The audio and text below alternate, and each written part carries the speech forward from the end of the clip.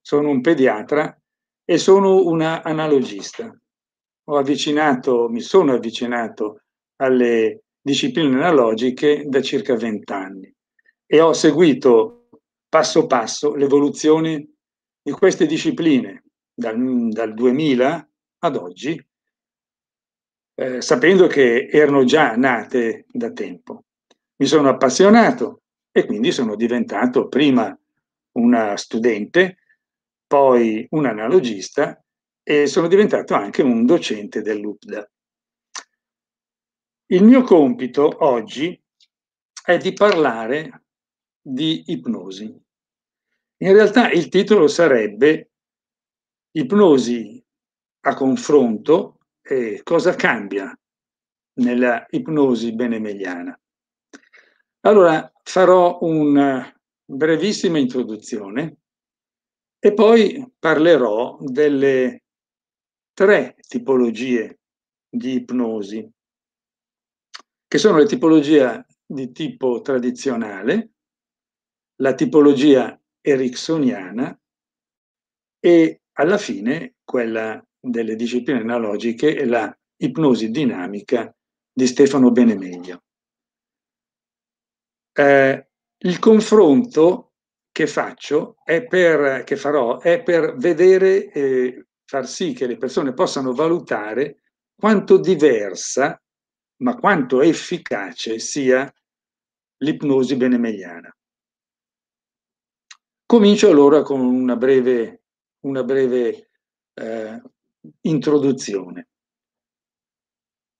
E parto dicendo che l'ipnosi è un evento di per sé affascinante, noto dalla notte dei tempi, cioè praticamente è sempre stata utilizzata fin dagli uomini primitivi, dalle prime civiltà anche, ma ancora non è completamente chiarita. Il fenomeno ipnotico non è ancora perfettamente, completamente chiarito, il quale, la quale circostanza gli lascia una certa aura magica di mistero, che è quanto affascinante ancora. Rappresenta però l'ipnosi un fenomeno spontaneo che occorre in ognuno di noi più volte al giorno. Non dobbiamo definirla e crederla un episodio straordinario, no, è un fenomeno spontaneo che occorre più volte al giorno in ognuno di noi. Ma quando? Durante i cosiddetti sogni ad occhi aperti, oppure quando compiamo azioni automatiche e il pensiero vaga in direzioni indeterminate, ma non pienamente consapevoli. Fa capolino l'inconscio. È una sorta di ipnosi, è una sorta di ipnosi eh, che capita inconsciamente, quotidianamente, penso proprio a ciascuno di noi. L'ipnosi però, oltre a questi momenti di emersione spontanea, può anche essere volontariamente indotta da sé, e allora si parla di autoipnosi, o facilitata da un operatore che pone le condizioni perché l'autoipnosi avvenga. In pratica è sempre autoipnosi. Nonostante questa aura un po' misteriosa che circonda ancora oggi l'ipnosi, tuttavia si possono proporre alcune definizioni di questo fenomeno, che però ne illustrano, ognuna di esse, solo un aspetto particolare. Così possiamo dire che l'ipnosi è la massima concentrazione su una fonte di stimolazione. Cosa vuol dire questo? Vuol dire che non si perde un tipo di cognizione, ma si focalizza l'attenzione e la consapevolezza su una fonte di stimolazione, su un pensiero, su un evento, su una persona. È una forte concentrazione, una massima concentrazione su una fonte di stimolazione. Un'altra definizione che mi piace un po' meno, ma che è interessante proporre, dice l'ipnosi è un modificato stato di coscienza. E qui ci siamo. Intermedio fra sonno e veglia. E qui ci siamo poco, perché è una definizione in negativo. È un modificato stato di coscienza, ma non è né sonno né veglia. Un'altra interpretazione, una terza, eh, una terza definizione di ipnosi che è interessante, afferma l'ipnosi è un varco aperto sull'inconscio. E questa è una definizione che può andare, ovviamente. Cioè, con l'ipnosi si accede all'inconscio. Ma la, defin- la definizione che mi piace di più, che veramente è anche la definizione più idonea nell'ambito delle discipline analogiche di Stefano Benemeglio, è la seguente. L'ipnosi è comunicazione diretta con l'inconscio. L'ipnosi, ripeto, è una comunicazione diretta con l'inconscio. Fatta questa breve, eh, breve introduzione, passo a raccontare un po' quelli che sono le ipnosi, o che sono state o che sono tuttora le ipnosi, per arrivare alla fine ad illustrare la, la magia dell'ipnosi benemeliana. Classicamente si usa distinguere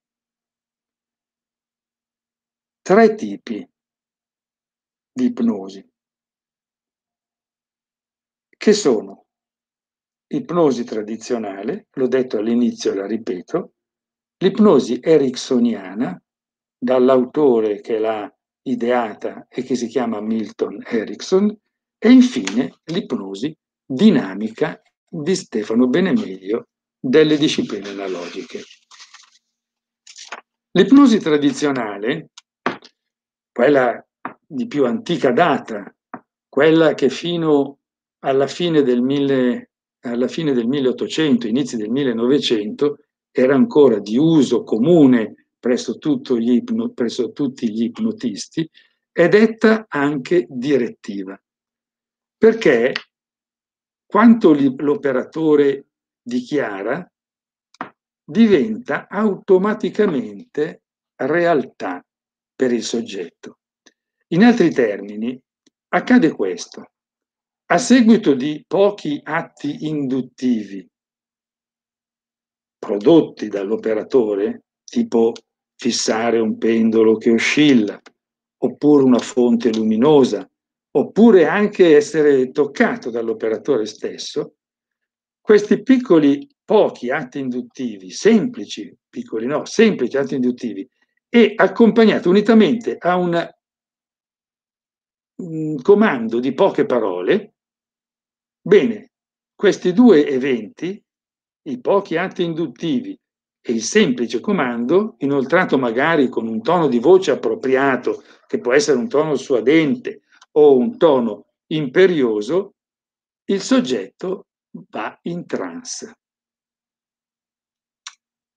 Pochi atti induttivi e un comando semplice di poche parole può essere sufficiente, è sufficiente nell'ipnosi direttiva per mandare l'individuo in trance. Ma questo metodo sfrutta il potere induttivo del contesto, dove avviene, dove accade, e utilizza procedure stereotipate, cioè uguali per tutti.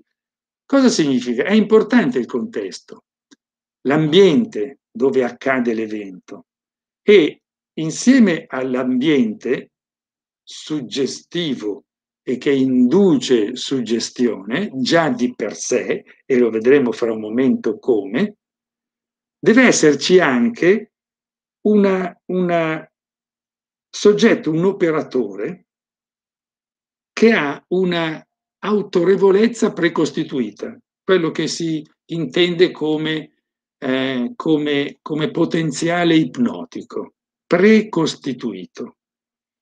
E allora, unendo questi due eventi, queste due situazioni, cioè il contesto, il contesto suggestivo e l'autorevolezza precostituita dell'operatore si ottiene l'evento ipnotico. Se non esistono contemporaneamente questi due fattori, spesso accade che l'evento non sia, non sia riproducibile. E poi c'è la questione della, delle procedure stereotipate, come se tutti fossimo eh, sul, sullo stesso piano. Uno schema che va bene per tutti.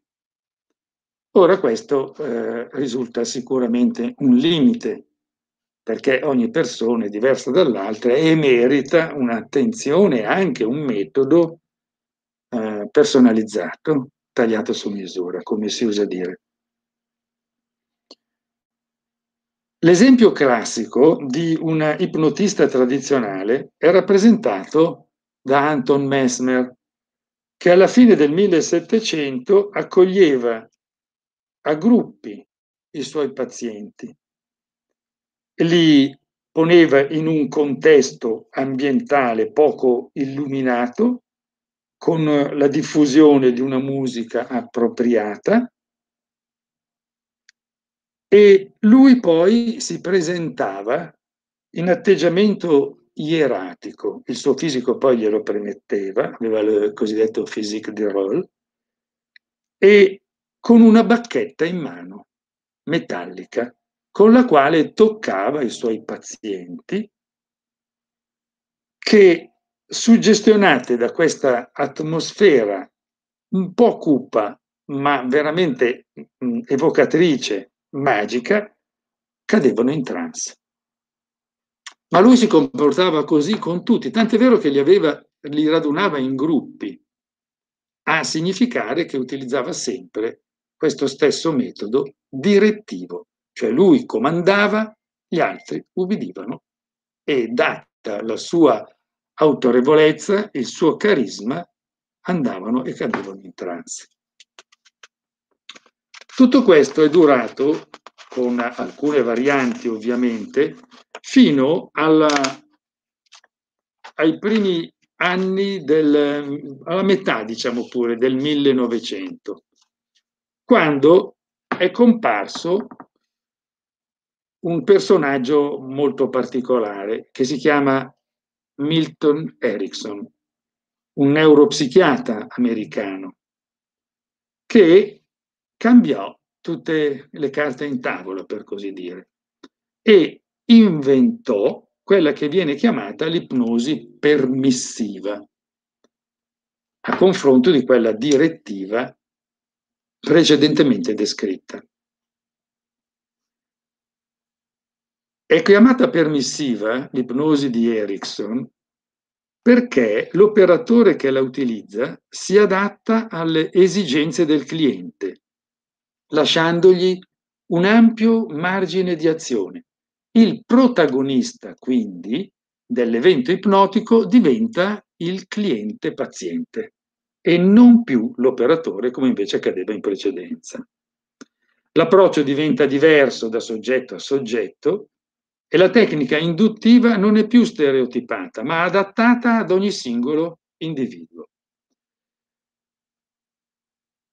Erickson rifugge da ogni schematismo e ritiene poco utili le indagini diagnostiche strumentali. Ma il punto più importante è questo. Contrariamente all'opinione dell'epoca, che eh, mh, si rifaceva alle, alle eh, tesi freudiane, per Erickson l'inconscio è un amico dal quale attingere risorse preziose. E non è più invece un ricettacolo di eventi indicibili come aveva insegnato precedentemente Freud. O anche precedentemente, sì, più o meno anni primi, nei primi anni del Novecento. Questo eh, conferisce veramente tutto un aspetto diverso al processo ipnotico. Lui, Erickson, per indurre e poi accompagnare il suo cliente paziente durante l'evento ipnotico, usa sempre storie e metafore da lui inventate e costruite sulle esigenze stesse del paziente cliente. È un modo di fare molto particolare, che è difficilmente imitabile da un punto di vista proprio della, della, dell'analogia con quello, che, con, con quello che Erickson intende fare o fa. Tant'è vero che il suo metodo viene assolutamente assorbito con opportune modifiche, ma ciò che soprattutto viene introiettato dagli ipnotisti successivi è quello di ritenere il, l'inconscio un amico. E questa è sicuramente la nota più importante. I principi infatti dell'ipnosi permissiva di Milton Erickson si sono diffusi con alcune varianti e rappresentano oggi un indirizzo teorico pratico molto seguito. Milton Erickson è stato un rivoluzionario nell'ambito dell'ipnosi. Ma un altro rivoluzionario, Stefano Benemeglio, con la sua ipnosi dinamica, che si afferma a partire dagli anni Ottanta in poi, nell'ambito e, e, viene registrata nell'ambito delle, delle discipline analogiche che lui ha inventato. Ebbene, lui fa un'altra rivoluzione, una rivoluzione molto importante che adesso vado un pochettino ad illustrare. Lui chiama la sua ipnosi ipnosi dinamica.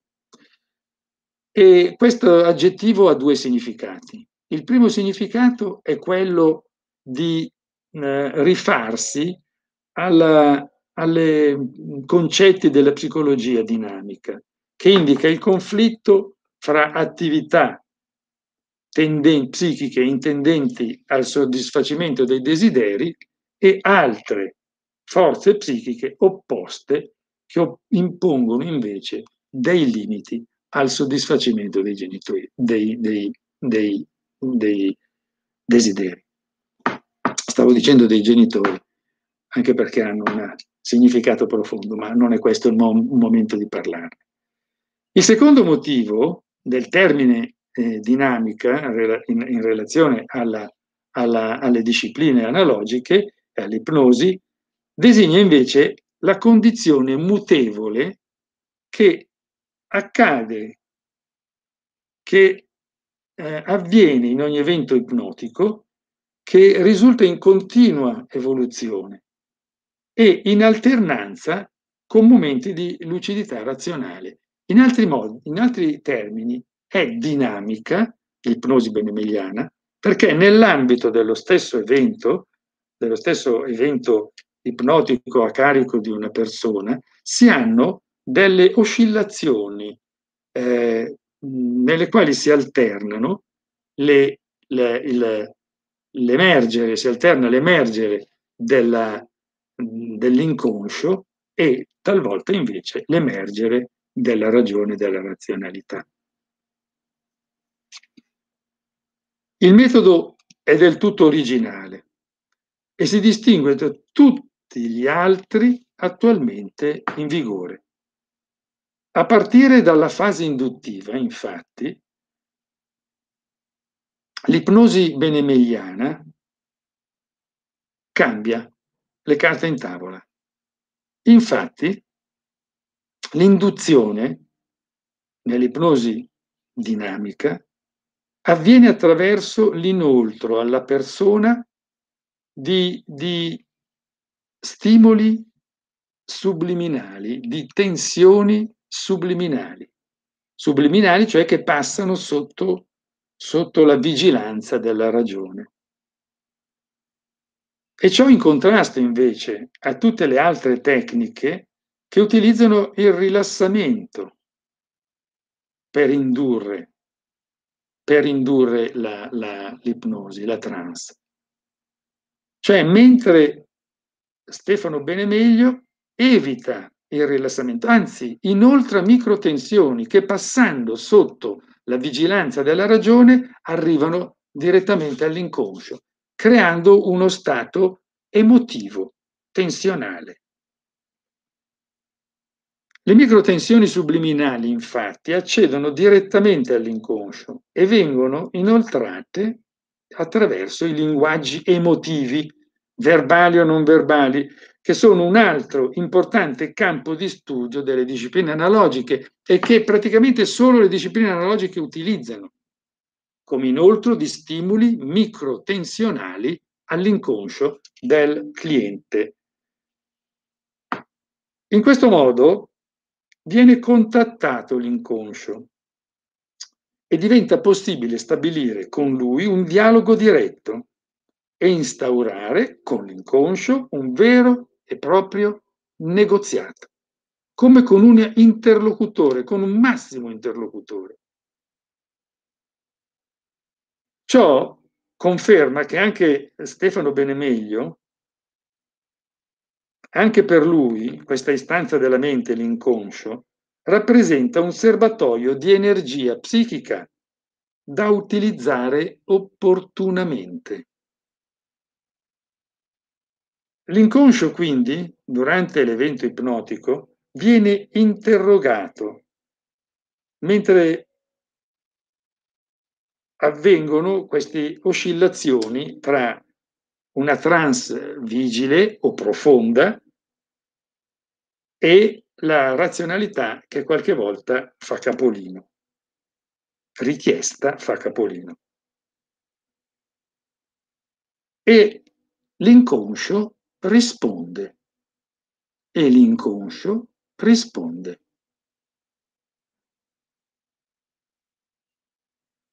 Pertanto all'operatore non resta altro che registrare le risposte dell'inconscio, esattamente così come avvengono. Come risponde l'inconscio? L'inconscio risponde con oscillazioni avanti e indietro nel corpo, con i linguaggi non verbali, di cui l'operatore analogista deve essere molto bene al corrente. Ma cosa accade se noi quindi interroghiamo diretta, noi analogisti, eh, interroghiamo direttamente l'inconscio? Questo ci dà delle risposte. Sono delle risposte che l'operatore registra, l'analogista registra, registra e valgono per quel che sono, senza necessità di letture o interpretazioni personali del, dell'operatore. Interpretazioni che, come tutti possiamo immaginare, possono essere anche devianti e non corrispondere all'esatto eh, sentire, pensare della persona. L'incontro poi, come diceva, come dicevo precedentemente, si dipana alternando momenti di trance e momenti di lucidità razionale, ma il fine è quello di trovare gli eventi topici della vita dell'individuo unitamente ai personaggi che ne sono stati responsabili. E il tutto è collegato dal filo rosso delle analogie fra emozioni.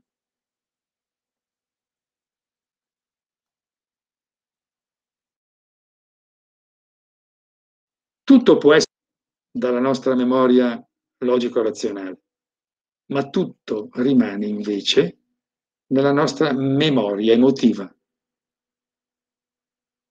che a fronte di una emozione provata oggi, analoga ad una provata nel passato, fa che quella del passato si ripresenti nel presente e nel presente rimanga. L'ultima scoperta, infine, relativa al computo matematico, tipico dei, degli eventi ipnotici della ipnosi dinamica, evidenzia questo computo matematico in modo preciso e incontestabile il concatenarsi degli eventi emersi interagendo con l'inconscio. Questo metodo conferisce una solida base scientifica che si riflette positivamente nell'applicazione pratica del metodo. Perché dico scientifica? Perché è riproducibile, come sono riproducibili i computi matematici.